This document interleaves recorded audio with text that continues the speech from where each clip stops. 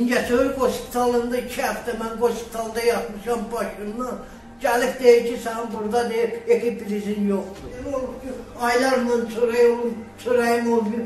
Gəl Azərbaycandan ötəri canımızı da qurban vermişik. Ancaq biz nə olar ki, biz, bizə də baxın.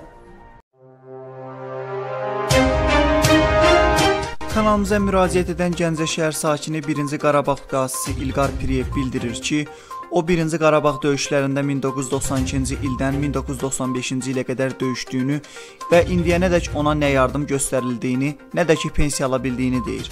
Qazimiz əlavə edir ki, o vaxtı ikən xəstəxanada yatdığı sənədləri xəstəxanadan ala bilmir. Xəstəxana isə həmin sənədlərin onlarda olmadığını bildirir.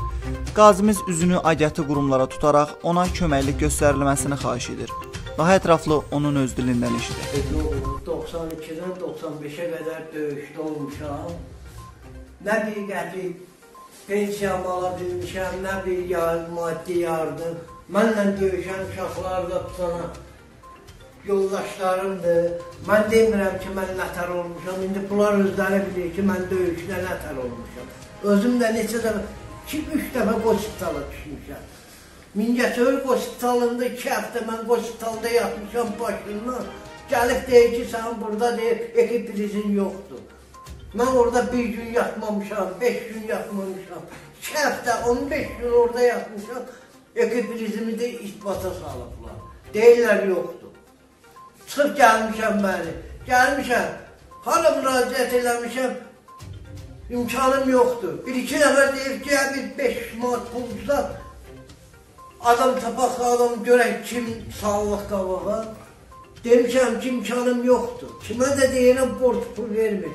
Yaxşı bu uşaqların sahəsində mən indiyənə qədər dolanmışam. Elə olur ki, aylarla çörəyim, çörəyim olmuyor. Gəl demişəm ki, ay xaqani, mən bir tay un, bir tay un alıb öydə yoldaşıma çörək pişirməyirəm öz boğazından kəsib verib ki, ala, ki, sən gələ mən pensiyanı alanda, baş gündü, Ələddin Otanam, onun da pensiyasını kəsiblər, o da bizdən beraber döyüşdə olur. Neçə dəfə əl tutubdum bana, indi onun özü qalıb yaman gündə. Hala da gedirəm bu ayağımla, mənə nə iş vermirlər, nə işə götürmürlər. Allah Rəşid müəllimin ölənlərinə rəhmət eləsin ki, məni bu işə götürdü, gənə pis yaxşı dolandırır. Ömər Sabiroğlu. Piriyev İlqarla müharibədə bir yerdə olmuşuq. Dəfələrlə yaranan bir də döyüşlərdə iştirak edib. Baxa bilərsin bunun həyat şəraitinə, yaşayışına.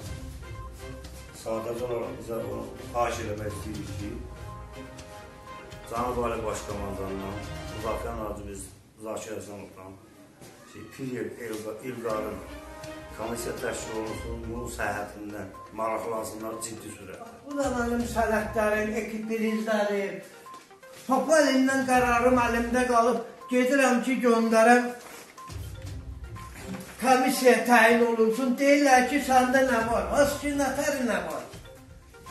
Nə yeriyə bilmirəm, nə otura bilmirəm, nə dura bilmirəm. Bir ayağımın üstə, bu da mənim şəkillərim.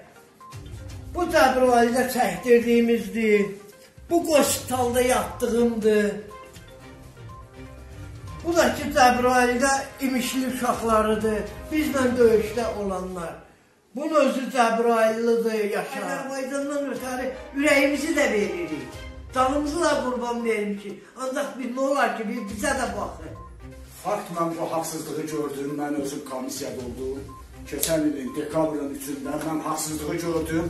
Mən haqsızlığa qarşı mən düz söz danışdım. Ona görə də mən pensiyamı kəsdilər. Mənə dedilər səndə nə var ki, səndə heç nə yoxdur. Hansı ki mən xəstəyəm, mənə papanın üç ömürlüyü verir.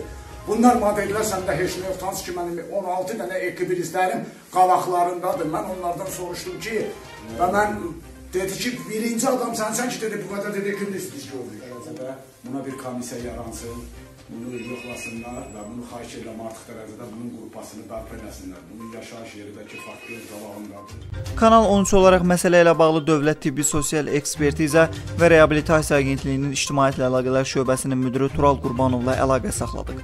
Onun sözlərinə görə Gəncə şəhər sakini Priyev İlqar Allahverdi oğlunun əlilliyinin qiymətləndirilməsinə dair əlillik alt sistemində heç bir forma 88 aşkar edilməyib. İlqar Piriyevə dair yaşayış yeri üzrə qeydiyyatda olduğu səhiyyə müəssisəsi tərəfindən elektron sistemə göndəriş daxil edildiyi halda həmin göndərişə əsasən vətəndaşın əlillik vəziyyəti ilə bağlı qanunvericiliyə müvafiq qərar veriləcək, deyə Tural Qurbanov qeyd edib.